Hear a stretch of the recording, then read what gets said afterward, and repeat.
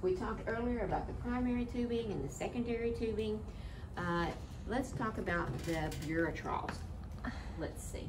Our Buretrols are used for the children and the elderly. Buretrols look like this. They've got like a long barrel chamber on it. And these are used for people that you don't want to take the chance of giving them too much fluid because this is like an extra safety device. Oh, I gotta close my clamp before I take my paper pieces off. Always close my clamp. I'm gonna open one of these for you. And also on your tubing, if uh, most of your tubing comes with little stickers or when you change your tubing, always label your tubing, your primary tubing and your secondary tubing um, so that you'll know when it was changed and when it's next to be changed. Because again, you don't want to be wasteful with your uh, patient's um, money. Okay, so this is what a Buretrol looks like.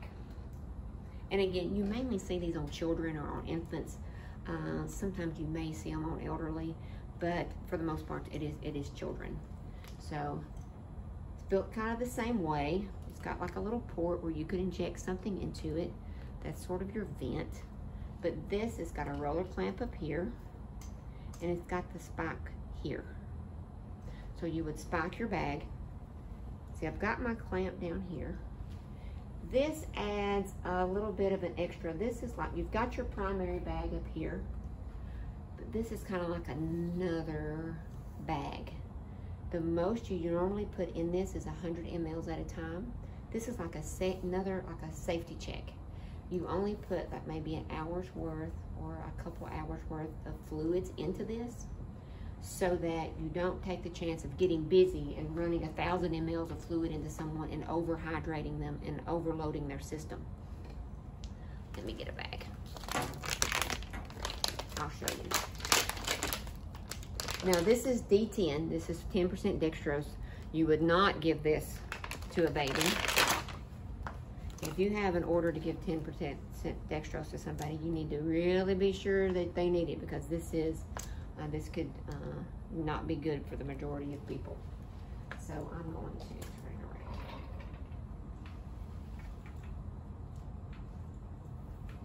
Again, it's got a port and it's got the um, little blue port that we're going to spike and prime. I have clamped off my,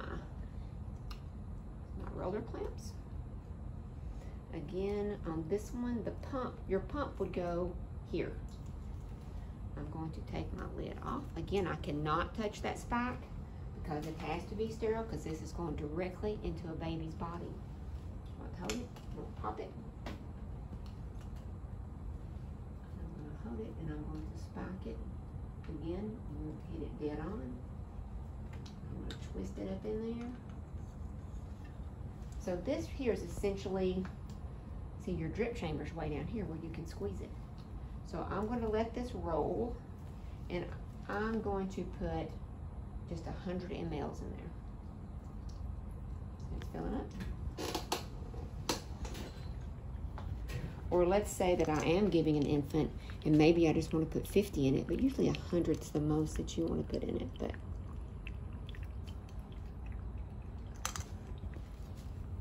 let's say that we're going to put 50 in it. Their IV's going at 25 an hour, and I'm going to come back in here and check them in a few hours. So I'm going to put it at about 50. And right there's where you could run your secondary into. You could piggyback into this and put their uh, antibiotic into this. So then I'm going to cut this off because I don't want any more to come down in here. So here's my bag, and then here's like a little second bag that keeps that patient from getting too much. So now I would squeeze my drip chamber because I want to be sure it's dripping, you see. Because here's where I'm going to watch. Hope this is making sense to y'all. So I've got my maybe two hours worth of medicine in here. I've got my drip chamber. Now I have to prime this set of tubing. So I'm going to, and you can see, the can drip. It's dripping. I got a little bit too much in my drip chamber. I'm gonna again do it slow. This is really up too big, so it may not drip as good. sometimes on these you have to, what's it, shoot out, so I that down. Sometimes you have to crack the seal on this, on the end of it. And if you do take this all the way off, you have to be sure that you keep it sterile because you have to put it back in there. So I'm going to put it there. I'm going to show you how fast it comes out. Let's hope it comes out fast.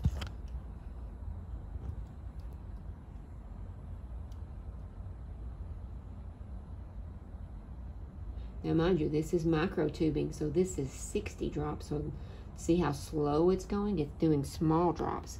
The other one's drip factor was 10, so it came up pretty rapidly. But the Buretrols have got a, a 60 drip factor. So that's why it's going to take so long for it to come out because we want to be sure that we are not overhydrating. That and this tubing is probably a billion years old. Here we go. It's dripping out. But remember, on our drop factors on children, we use the micro. So it is a 60 drop factor. Now, I didn't contaminate that, so I can put my lid back on it. Then we would set our pump, so our volume to be infused here would be 35. And our pump would go there. So that is a Buretrol. Again, you use these for children. And I don't have the, I don't have the package over here. But again, the drop factor on it is um, a 60. Now let's look at our Y tubing. Again, our Y tubing is used just for blood with normal saline, 0.9 normal saline. You do not use it with half normal saline. You use it with 0.9 sodium chloride. And this is our Y tubing. And I'm not going to spike it because it's the only set of Y tubing that I have. I just want to show it to you. Because in the hospital, a registered nurse has to be the one that initiates a blood transfusion. They go down to the lab, they uh, check it out of the blood bank, they verify all the paperwork, they bring it back up to the floor, they double check it with another nurse, they go in and check it at the bedside. When a patient's going to get a blood transfusion, they always have on a pink bracelet with a number on it. And that bracelet cannot come off that patient because that verifies the blood they've tested it with. And they have to have a consent for the blood. And the consent, I believe, is good for 72 hours. So uh, depending on your facility protocol, I believe it's 72 hours for a, a blood transfusion. But your blood tubing is good for two units of blood. Again, the art, you're never going to really be the one uh, hanging the unit of blood because a registered nurse has to hang it and the registered nurse has to watch that patient directly for the first 15 minutes of the blood transfusion. After that, the LPN can monitor it, but the uh, RN has to spike and hang it because if most people are going to have a reaction to a blood transfusion, it's going to be in the first few minutes. So, and the Y tubing is just for that very reason. So, okay, it's got paper on it. So what do we do? close all the clamps. We're going to have a clamp here, then you're going to have two clamps up at the top of the Y. I'm going to take my paper off. I'm not going to spike it because it's an only set of Y tubing and I had to bum it from the hospital. Or take that back, get it donated from the hospital. So this is my Y tubing. So before you go get the unit of blood or before the nurse gets the unit of blood, uh, you already have to have their IV and stuff going. You can already have this set up with the normal saline going in. You don't want to go get that uh, blood from the blood bank until everything is going good because the blood is only good for four hours out of the blood bank. So when you come, when the nurse goes to get that blood, they've got to have the IV already started with a 20 gauge or an 18 gauge.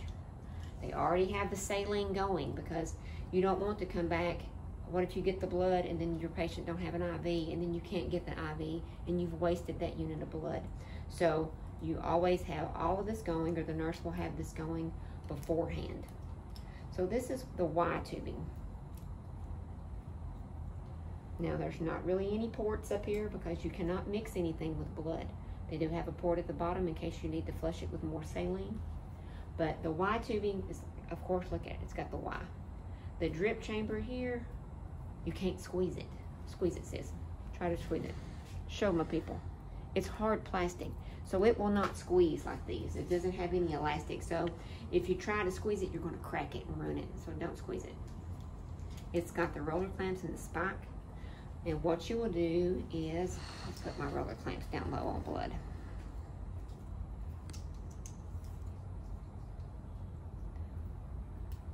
Of course, you keep it up off the floor. Put it over my shoulder. One of these will go to a bag of normal saline.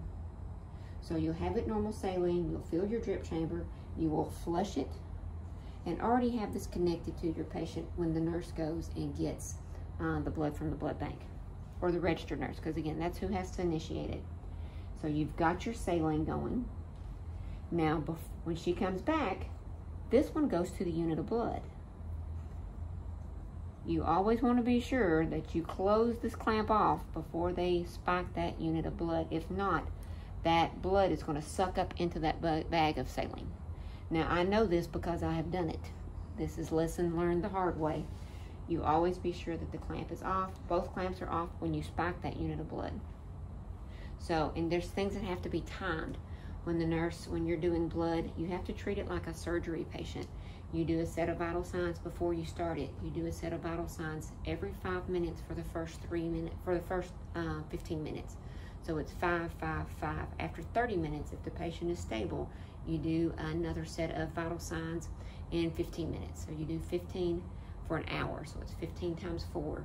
If they're stable after that hour and the blood is still going, it's every 30 minutes. But usually after that, then the uh, blood is usually in by then. So, one goes to the saline, this one goes to the unit of blood, and then the blood goes in. Now, the saline is there as a um, precaution. Now, let's say it all goes well and you're finished with this unit of blood you would roller clamp it off and turn your saline on while you go get the second unit of blood. They do have a port down here at the bottom in case the patient may need Lasix in between. Um, but for the most part, you do you never inject any medicine when blood is going in. It's really not best practice that you put anything through these, that you have a separate IV line to put any other type of medication. But let's say that you're 20 minutes into a blood transfusion and the patient spikes a fever or they have flank pain and you have to stop that blood transfusion. You automatically, you roller clamp off that blood and you turn your saline on. And yes, the blood that's in the tubing is going to go into the patient, but then you're going to start the saline while you go uh, tell your charge nurse, tell the doctor, and see if that blood transfusion needs to be stopped completely. Of course, when you finish with a blood transfusion, all of the tubing has to go in red bags because it has been uh, contaminated with blood. So that's your Y tubing. That's the only thing you use Y tubing for is a blood transfusion or blood products. Because if you're doing platelets, if you're doing um, usually albumin, then you want to have this tubing. And this tubing is always a 10 drip factor because it's thick. This, this one's 60. The uh, pediatric is 60. This one's 10. Your regular uh, tubing is usually uh, 15 to 20. Uh, but blood tubing is always 10 and uh, the Buretrols are always 60. Again, what goes with normal, what goes with a blood transfusion? 0.9 normal saline. That's the only thing you ever hang with it. And that's your different types of tubing.